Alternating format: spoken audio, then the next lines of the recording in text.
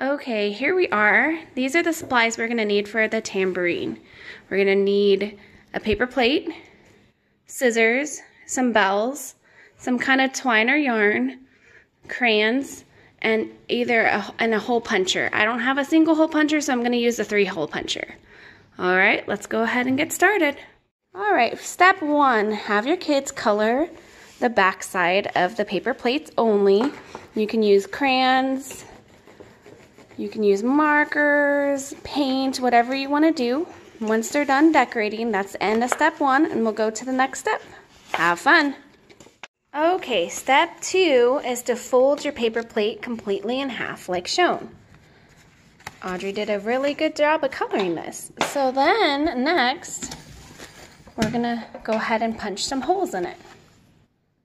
Okay, so here we are putting holes into the plate. So you can really put as many as you want. I went ahead and did three on one side, one in the middle, and I'm probably gonna do another three on that side. Okay, now we have all the hole punches done on her plate. Next, you take your twine and you cut it into little strips like this, long enough that you can thread the thread the jingle bell and tie it onto the paper plate. So first, okay, thread one through here.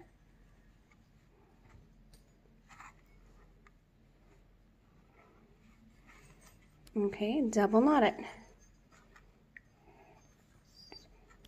So an adult will do all the cutting of the thread unless you're old enough to do that and you have talked to your parents. But kids can do most of the rest. So this is what the finished product looks like. He already lost one of his bells, but this is gives you a gist of what it looks like when you're all done tying and putting everything on. And you got a nice little shaker. This is what my kids think about their shakers. Go ahead. Fun. Now I can send them outside to bless the world with all this sound, huh?